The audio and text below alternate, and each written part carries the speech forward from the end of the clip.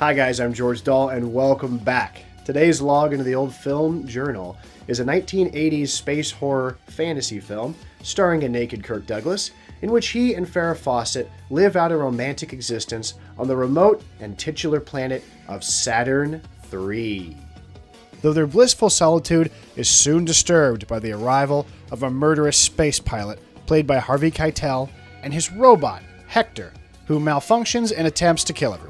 So, Saturn III premiered in the midst of a science fiction renaissance in the late 70s, and it was the passion project of Star Wars production designer John Barry, and it was conceived as a Frankenstein's monster story in space. A suspense thriller of galactic proportions with spectacular set design, and Barry was set to direct. However, meddling executives, a troublesome star, and an unworkable gigantic robot puppet all conspired to chip away at Barry's vision until he was unceremoniously booted from the project after only three weeks and replaced as director by the film's producer, Stanley Donen. So, this movie, to be honest, is a lot less than the sum of its parts, but there's plenty to enjoy here, and the behind the scenes maelstrom is just juicy enough to warrant the retrospective treatment. So, before we get started, let's put this whole thing in context real quick. Obviously, after Star Wars, the culture experienced a major science fiction deluge. You can see this phenomenon play out in real time in the pages of Starlog magazine, a fan quarterly which debuted in 1975. And I think actually this is a good way to illustrate what I'm talking about. It's a periodical I've been really fond of collecting over the years. If you were to look through the first few issues of Starlog, they are a rather low key affair, interested mostly in looking back and reminiscing about Star Trek a show which had been canceled 10 years prior, and the magazine filled its pages with episode guides and photos and whatever other Star Trek or minor sci fi TV info it could scrounge up. But after Star Wars debuted on the scene, look out. This return to the outer space-bound action adventure strain of sci-fi storytelling, combined with horror elements and new developments in blue screen matting and special effects technology, with a little late 70s futurism thrown in for good measure, produced some awesome science fiction movies from the period of about 1978 to 82. Films like Alien, Outland, Galaxina, Battle Beyond the Stars, Star Trek, The Motion Picture, The Black Hole, and television shows like Battlestar Galactica and Buck Rogers in the 25th century. So, going into the movie Saturn 3, I was obviously forewarned of the movie's terrible reputation. Uh, but I was intrigued by the cast. I'd seen still photos from the movie, and since I'm sort of a completist of this sort of genre and area of time we're talking about, I figured it had to have, you know, some redeeming value. Sure, the opening Star Wars ripoff shot was a little dismaying, but when we're thrust onto the command ship of what appears to be a galactic empire of some sort, I was kind of blown away by the striking set design and frenzy of layered sounds and visuals, some rather psychedelic and abstract, some incredibly impressive and imposing, it seemed to me like this was a movie with a great driving momentum, playing around in an impressively conceived universe amidst a solid musical score by Elmer Bernstein, which built some suspense and excitement.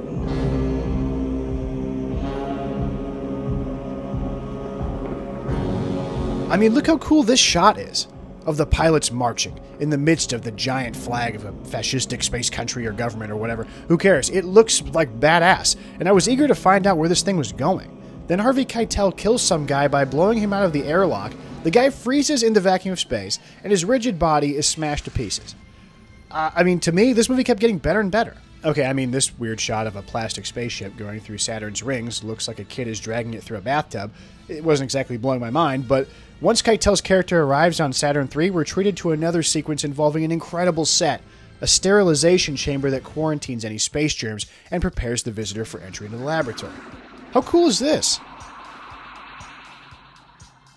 This is a great entrance for our lead characters, as they all reveal their faces behind their helmets.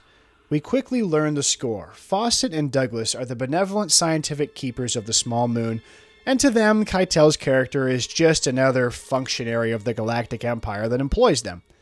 And you get the sense that they're really ambivalent to whatever its larger goals are that they periodically have to suffer through corporate inspections and nosiness from top brass, which they tolerate, but they prefer really to focus on their work. The movie itself is also not concerned with whatever the Space Empire is up to. It's all kept deliberately vague, and for the most part, that's okay for the kind of story they're telling. Occasionally, there is dialogue placed throughout the film that deals with the uncertain fate of Earth, with Douglas bemoaning its environmental decline. When I was last there, if you went outside and breathed, the pollution count was liable to rust your tubes. it appears from these brief bits of dialogue that human society has degenerated into an ambitious technocratic empire obsessed with conquest and industrial progress. Douglas and Fawcett are stationed on what could be the most Earth like environment that we see throughout the entire film, as it's a seemingly harmonious union between rock, plant, and technology. If not an environmental paradise, the boundaries are at least clearly drawn between elements. The moon, Saturn III, is a pleasant union of Terra and tech, standing in stark contrast to the gleaming and sterile world of Harvey Keitel's character of Captain Benson. Their opposing worldviews are even apparent in their costume design. The two scientists of Saturn III wear bulky spacesuits, obviously white to reflect their goodness, and the only real utility of these suits is to preserve the life of its wearer outside the lush greenhouse environment. And once the suit's usefulness has been served, the scientists quickly discard them in favor of comfortable earth toned leisure wear, whereas Keitel's suit is less bulky, more sleek, tight fitting. It's a sinewy, muscular apparatus that mimics the human body and is perhaps a sort of replacement for it, which Benson does not readily remove when indoors.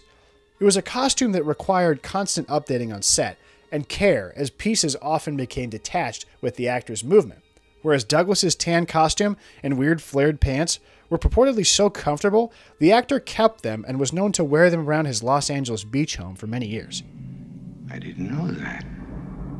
After the initial introduction to the space station and an earnest kickoff to the proceedings, the movie begins to fall apart rapidly. The biggest reason for me is that it seems that Harvey Keitel's character of Benson, his presence is really murky. It seems as if he's simply taken the place of the man he killed earlier and that the dead man's mission was simply to bring the robot to Saturn III, to aid in the farming activities of the scientists. And Keitel proceeds to basically just do that. He simply sets up the robot in his spare time and makes weird sexual advancements toward Farrah Fawcett. Did no one back on the ship notice that the other pilot had been murdered? I mean, I could totally understand if Benson took his chance to pose as a robot delivery worker in order to hatch an escape or to rebel against the Empire, or take over Saturn III, but he doesn't do any of those things. He just kind of hangs out, assuming another man's identity. So, what's his endgame? I mean, maybe the guy just needed a change of scenery, but it seems like he's making all of this up as he goes along. And considering Hector the robot becomes something of a surrogate for Keitel's villainy, an extension of his evil will, almost literally, it would serve the movie better if we had a more concrete idea of what Keitel was actually after. The other unsettling element of Keitel's character is that we're treated to a fairly deadpan performance from an actor who usually graces the screen with a lot of energy, attitude, and swagger. But in this movie, he's got all the range of a Jedi in the Star Wars prequels, and even the hairdo to match. I was immediately put off when his first lines of dialogue came out of his mouth. You're quite an event in our lives. Well, I guess you don't get many drop ins on Saturn 3. And the reason for this jarring disparity? Well, he's been dubbed entirely by another actor in post production. Is that the truth? Yes. So apparently during production, Harvey Keitel and Stanley Donen didn't get along very well, which culminated in uh, Harvey Keitel refusing to return for post-production ADR. So Donen just replaced him with British actor Roy Dotrice, who some people might recognize as the audiobook narrator for all of the Game of Thrones books. I've heard some people say that they like the voiceover because it makes Benson seem stranger, more robotic, and detached. No touch and contact. You mean don't touch? Correct. But as someone who's familiar with Harvey Keitel's work, and it's really kind of hard not to be, I find it to be very distracting and it takes me out of the movie. Can he play? Yes. I play, he plays. Don't you like me? I don't know. It's a real shame that you can't hear the lines as Harvey Keitel performed them. I would think you'd want to hear that just for historical value, but unfortunately, none of those lines exist. That dialogue track is gone. I said to blank that, no blanket. But in addition to Harvey Keitel's synthesized post-production performance, there are a lot of elements of Saturn III and plot points in particular, subplots that are brought up and then never adequately elaborated upon, and not least among them is the Blue Dreamers subplot. After their uneasy meeting, Fawcett directs Keitel to his guest quarters where he says he'll sleep fine once he takes a few blues. Blues, blue dreamers. Sleeping pills? You've never heard of blues? You really need a shut life out here, don't you? Fawcett and Douglas discuss the drug, and Kirk seems to remember taking these with some fondness. Did you ever take one? Blue Dreamers? Did you? Years ago. which indicates his past life might have been a little more sordid and fast paced. And he may have not been so different from Benson at one point in his life. We even get a meaningful close up of these things, which seems to imply that they will become important later, but then they aren't at all. So there actually is a deleted scene that further elaborates upon the blues and their effects. And when our characters take them, they sort of get drunk or high or whatever. They kind of prance around. What should I wear? Anything or nothing. They're not choosy anymore. But that doesn't really go anywhere either. It's like, so what? Hey, you've never seen it before. My coming out dress. But while we're here, let's elaborate further on this uh, notorious deleted scene in which Farrah emerges from the bedroom dressed like the fetish version of a uh, Power Ranger villain. Yikes. Fawcett found this costume so mortifying that she demanded the scene be removed. Though that didn't stop the producers from plastering it all over the promotional materials for the foreign release. For years, this scene was thought to be lost forever. But, you know, fortunately for us, the scene has recently been found, is available online in its full glory. Uh, yeah, you know, I'll post a link in the description, but I'm telling you, you know, watch at your own risk because, I mean, if you found the 30 year age gap difference romance between uh, Farrah and Kirk to be a little bit off putting, uh, I can tell you the cringe meter is sent into the stratosphere here. So, you've been warned. I'm sure I'll hate it. Then we'll hate it together. So, Farrah Fawcett was quite the hot commodity in the late 1970s. She had appeared in films like Logan's Run, and she had a high profile marriage to $6 million man star Lee Majors. And then she rocketed to superstardom with a lead role in the hit show Charlie's Angels in 1976. And of course, everybody has seen this image. Your old man probably had this poster on his bedroom wall back in the day because it sold over 12 million copies. Charlie's Angels was a smash hit, and even though Farrah was the obvious breakout star, she was only making half the money per episode as her co star Kate Jackson. She tried to renegotiate her contract for his 10% cut of merchandising rights and a raise in salary, but when she failed to reach a satisfactory agreement, she dropped out of the show. Farrah said of the show in an interview following her exit When the show got to be number three, I figured it was our acting. But when it got to be number one, I decided it could only be because none of us wears a bra. At the urging of Lee Majors, a cyborg who once fought Bigfoot, and a guy who was not only her husband, but the other half of their joint production company, she went all in on pursuing a theatrical career, only to be slapped with a lawsuit for breach of contract by ABC and Columbia Pictures. The perception of her having burned bridges made every Hollywood film choice she made extremely critical. And to make matters worse, going into 1979, hers and Lee Majors' marriage fell apart, leaving her in the middle of a messy divorce proceeding. And worse yet, her big post Angels theatrical debut in the Charles Grodin comedy Sunburn flopped. She's very pretty. It's a movie about a pretty girl. That's one reason to have movies, especially in the summertime. To me, that's good enough rationale for Sunburn. And all I'm saying is if it had made sense, if it had been a better script, it would have been nicer to look at. I enjoyed Farrah's style and her looks. Gene thought the movie was a loser, so one yes and one no. Farrah was handed the script on a cross country flight by a producer named Lord Lou Grade, who happened just to be traveling with her. He was thinking about optioning the script from Donen, and when he saw Farrah, he just reflexively handed it to her. And supposedly, after she'd finished the script during the flight, she said she liked it and agreed to do it. So Grady just got on the phone with uh, Donen and said, Hey, I'm going to buy it. By the way, we got Farrah. And that's a real testament to her star power at the time. She basically got the movie made.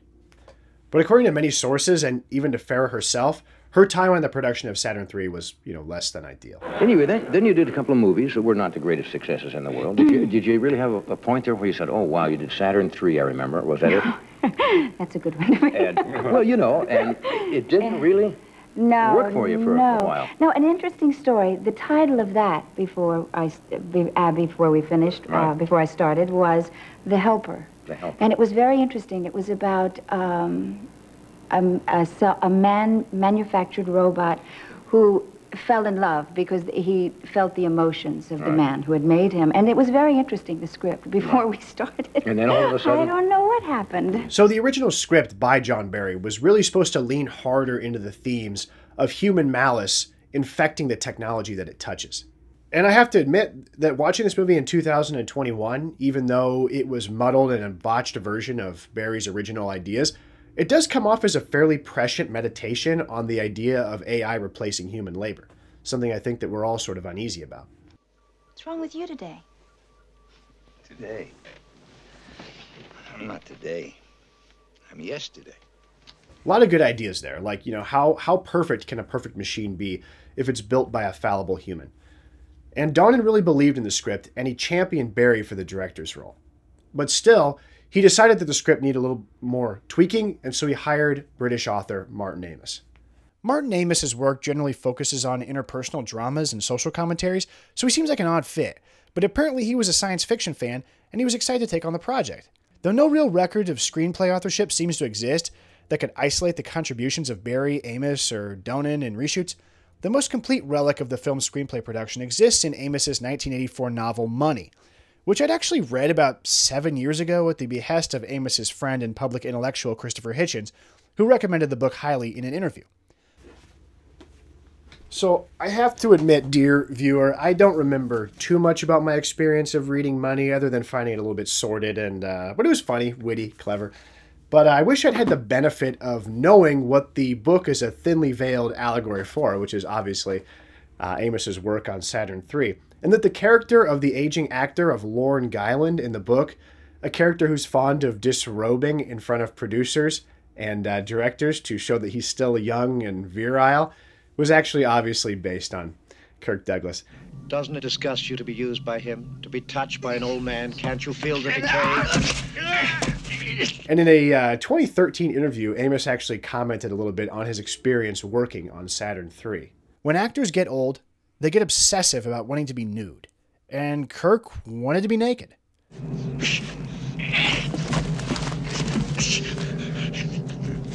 Many have surmised that Kirk Douglas obviously uh, was enticed into the role for two reasons. He was actually pretty hip in the projects he chose, and he saw that science fiction was the latest trend train to hop on. And also, it probably couldn't have hurt too bad that he would be sharing steamy sequences with a hot, you know, young actress. I don't think that bothered him too much. Kirk had already shown a penchant for wanting to star alongside young female leads, like in Brian De Palma's The Fury alongside Amy Irving, or in the uh, Omen ripoff Holocaust uh, 2000. Here he is alongside actress Agostina Belli on the film's poster, shirtless no less. Egomania and difficulty aside, Kirk's star power does carry the picture, and you cannot deny his gravitas and screen presence, even if he's a little rubbery in his facial expressions and body movements, and a bit hammy at times. I think you have me. It might seem odd that the producers opted for such a large age gap between their two romantic leads, but apparently this had been an idea that had clung to the project from early development stages, as the producers had initially wanted the 50 something Sean Connery for the role. But he had to turn it down because apparently Her Majesty's favorite spy hadn't paid British taxes for 10 years and could not return to the country for filming. It seems that the idea might have been that Kirk Douglas and Farrah Fawcett's unconventional relationship was meant to be seen as an inherently human bond opposed to the cold calculation of Benson, who finds their attraction illogical. There's even a passing line where Keitel mentions sex as being more of like a passing physical utility in the more cosmopolitan areas of the Empire. You have a great body. May I use it? I'm with the Major. For his personal consumption only? Yes. That's penally unsocial on Earth, you know that? Well, it's not here. Which makes Farrah and Kirk's pairing more a product of genuine feeling and intellectual stimulation than one of pure bodily attraction. That being said, there is an awful lot of pawing done by the elder Douglas, who allegedly balked at Farrah's refusal to do full frontal nudity, exclaiming, She's only a fucking TV actress. Douglas's headstrong attitude may have also been the reason for Barry's early departure. Many have insinuated that Douglas badmouthed Barry's directing ability to the studio bosses, and that he felt diminished as an actor when Barry continually spent more time fiddling with the giant $2 million robot than he was guiding his leads through their scenes. In fact, Saturn III historian Greg Moss makes the case that Douglas intentionally made work difficult for John Barry in an attempt to usurp the director and take on the filmmaking duties himself. As some have reported, Kirk did indeed direct the film for three days before it was decided that Donen would step in and pick up the pieces. I'm your commanding officer. Uh, open the door. The robot, Hector, by all accounts, was an unmitigated disaster. A poorly designed and conceived behemoth that was supposedly inspired by Leonardo da Vinci's drawings of the male physiognomy, but which looks more like a goofy, center heavy slab of beef with weak appendages and a poorly protected and flimsy head, optical eye, uh, uh, tentacle. Try as they might, the filmmakers could not make this thing look at all scary.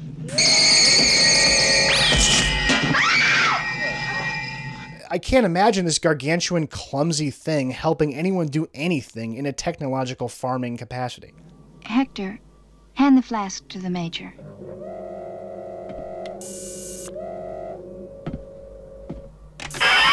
Abort! Glad you didn't ask him to shake hands. So just hear me out. I'm shooting from the hip here. This is a little on the site revision from yours truly. But what if Hector were more of like an omnipresent technological menace rather than just like a lumbering, big, dumb, hulking thing. I know he like taps into the mainframe of the space station, like closes doors and stuff. But what if he actively like did more? What if he did more to sabotage like the airlock or the you know he, whatever he did to like drive everybody to their knees and control them? All he really does is just grab things with his like big claw. You would feel like in an encounter with Hector, the worst thing that could possibly happen to you would be if he were to fall on you. But the filmmakers were keen on sticking with the massive lumbering robot to drive home the Frankenstein theme. Thus, the most menacing sequence we get is a demonstration of Hector's brute strength when he hauls Harvey Keitel's character onto the laboratory table, dismembers him, and then wears his face. I mean, Hector, uh, he, he puts his face on his, on his head. This is as close as the film gets to equaling its contemporary sci fi horror films in pure viscera. And though it's initially shocking, it doesn't really make any sense. It almost feels like a reshoot dictated by studio bosses who knew the film wasn't hard edged enough.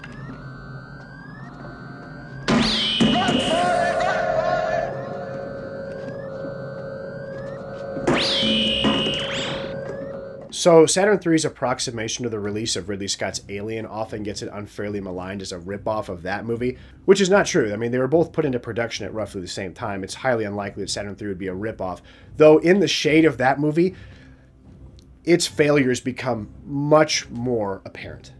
I mean, it's hard not to notice that in basically every way in which one might try to improve Hector's menace, it's accomplished way better by Giger's design of the xenomorph creature in Ridley Scott's film. They could have made the robot more agile and able to hide in the bowels of the moon base and then strike unseen like the alien. Or you could have shot the film in lower and more expressionistic lighting like they did in Alien. However, the moon base in Saturn III is always brilliantly lit. Obviously, Barry wouldn't have wanted to obscure the amazing set design with minimalist lighting and shadow, though the film could have benefited from it. But you know what? Brilliant it is. This set looks amazing and it looks expensive. I mean, check out these um, spectacular dolly shots and that fisheye lens that shows you the entire spectrum of the set, and it makes it look like they're they're running through the innards of the robot himself, stuck in his world. You're in my world now. Fuck you.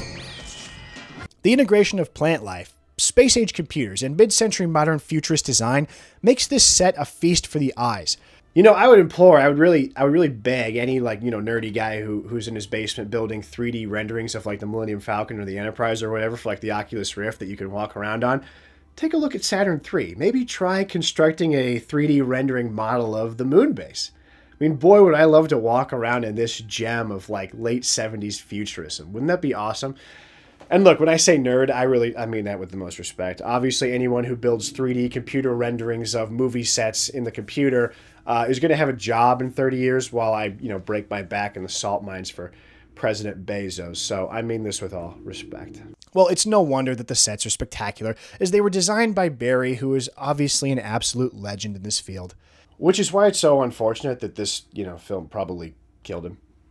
So, I mean, after he was booted unceremoniously from the set of Saturn III, defeated, he returned to George Lucas and offered his expertise to help out with The Empire Strikes Back, and Lucas welcomed him back wholeheartedly. Uh, unfortunately, into the production of the Hoth sequences, he experienced a bout of meningitis and uh, died. And they said that it was probably brought on by stress. But um, to Lucas's credit, he gave everybody on the production of The Empire Strikes Back the day off to go to Barry's funeral at the cost of over $100,000 to the production. So it's good that George Lucas recognized what an immense contribution that Barry made to his space universe. I mean, Barry created sets that were so like timeless that they can be mimed 40 years later virtually without update in The Force Awakens and nobody says this looks dated, this looks cheesy. I mean, think about the inspiration he had on the Superman motion picture in 1978 to create Krypton and thus the Fortress of Solitude as a crystalline structure. I mean, this was an idea that was so good that DC Comics actually ditched the idea of the Fortress of Solitude as a castle and just went with Barry's design going forward. The guy left a tremendous legacy. And it's really too bad that when it was his time to shine, it was stolen right out from under him. And on the topic of Stanley Donen stepping into the director's chair, I don't think his move to usurp the role was in any way treacherous. He backed Barry 100% from the get go. He just didn't have enough smoke to save his friend's job. And Donen isn't exactly known as a science fiction or horror director. I mean, he's most famous for directing Singing in the Rain, and most famous for me for directing uh, Charade with Cary Grant and Audrey Hepburn, which is a great movie, which I will do a review of if you'd want. If you'd like that, post in the comments that you want that. I think it deserves a review. So Saturn III's budget ballooned to over $10 million, which for the time and for a movie with only three characters was pretty outrageous. And obviously at the time, at the box office, it landed like a lead balloon.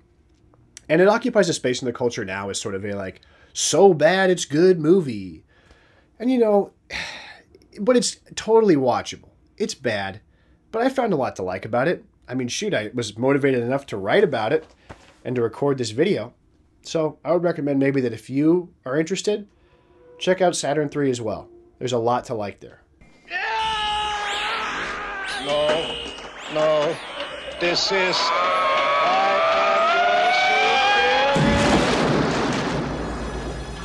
So before we close, guys, I have to pay a debt of gratitude to a film historian named Greg Moss, who has done yeoman's work to preserve the history and legacy of Saturn III over at his website, somethingiswrongonsaturnIII.com. This is a meticulous archive and timeline of the production of the movie with great, a lot of great stills and tidbits and trivia. And in fact, Greg's work was like so awesome. He actually caught the attention of uh, Shout Factory, and when they put out the re-release Blu-ray edition of Saturn 3, they had him help record the audio commentary. And it's really interesting. I can barely scrape the surface with this video of all the fun bits of information he's got about the movie. So I really want to thank him because this video review was built on the foundations of his research that he put his blood, sweat, and tears into. He's doing God's work. Go visit his website, check out his blog, and if he ever does happen to see this, I would love to talk to him.